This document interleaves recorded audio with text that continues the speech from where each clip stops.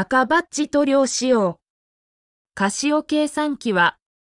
スピードインテリジェンスを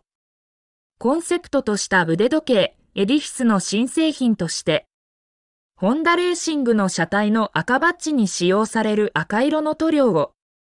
モジータパーツに採用したコラボレーションウォッチ EQB2000HR を2022年9月30日に発売する。ホンダレーシングとエディフィスは、共に高度な技術を駆使した日本初のブランドとして、世界へ挑み続ける姿勢に共通点があることから、2018年よりコラボレーションを行っている。今回発売される EQB2000HR はフォーミュラカーのサスペンションから着想を得たケースデザインの EQB 2000をベースモデルにホンダで受け継がれてきた赤バッジの精悍なレッドをまとった高機能ウォッチ。赤バッジは1964年に日本の自動車メーカーで初めて F1 に参戦した RA271 をルーツに、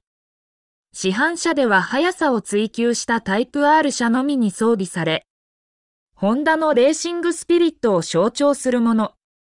このバッジに用いられる赤い塗料を使って用いた中央の X 型パーツにカラーリングし、象徴的なアイコンとすることで精悍さと力強さを兼ね備えたデザインにまとめた。また、モジータの3時1には、今年刷新されたホンダレーシングの HRC ロゴをレイアウトしたほか、裏蓋に1962年にホンダが建設した鈴鹿サーキットの会場60周年の記念ロゴを刻印。さらに、タイプ R の内装にも使われ、耐久性。通気性に優れ肌触りが良い人工比較のアルカンターラをバンドに採用。機能面では、太陽や蛍光灯の光で駆動するタフソーラーと Bluetooth によるモバイルリンク機能を搭載。専用アプリカシオウォッチズ接続することで自動での時刻修正に加え、ワールドタイムの時刻を簡単かつ直感的に設定が可能。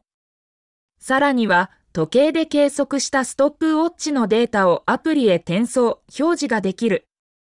レースに情熱を注ぐホンダレーシングの世界観を表現したモデルに仕上げられている。価格、税込み、は、7万7千円。